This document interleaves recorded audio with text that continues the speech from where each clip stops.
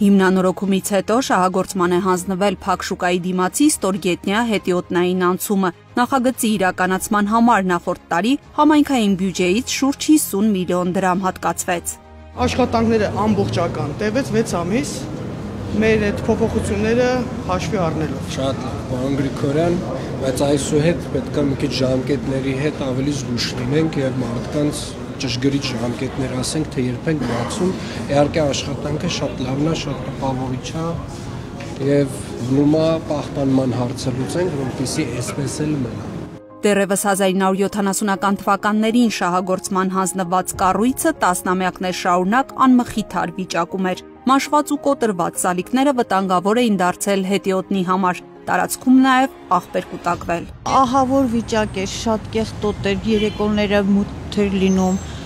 հնարավոր չէր անցումը կատարել։ Հիմա շատ ավելի բարեկարգ վիճակ կլինի։ Բազմաթիվ արտերկրյա հյուրեր ենք ունենում, ինչպես գիտեք, եւ շատ կարեւոր է, սա մեր քաղաքի դեմքն է։ Շատ սիրուն է։ Բոլոր անցումները թող այդպես լինեն։ Հյուրեր ունեմ, մի երկու օրից անպայման այստեղով անցնելու ենք, որը գնանք քաղաքով տուրի։ Տարոսը մյուս գետնանցումներին։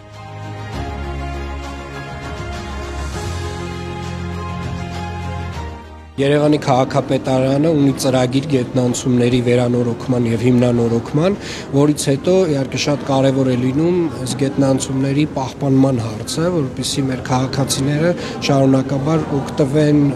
գետնանցումներից եւ այստեղ աղբի, չգիտեմ,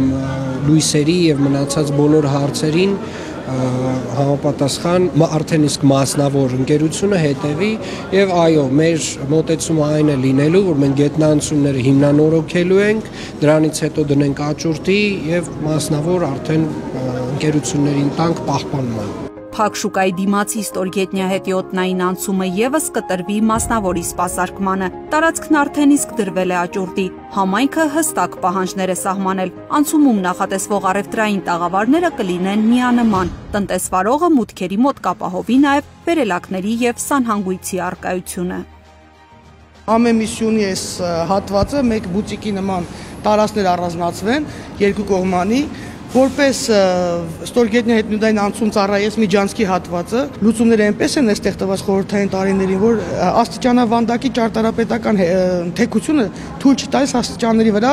թեքը հարթակ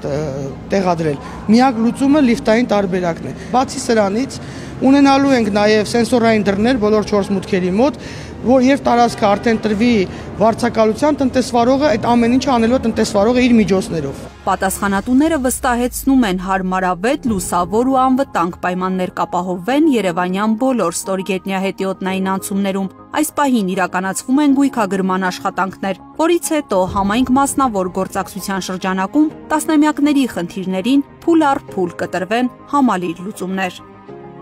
Օֆելիա Սիմոնյան, Տիգրան Ասատրյան, Վարամ Ներսիսյան, Երևանի քաղաքապետանի լրատվության վարչություն։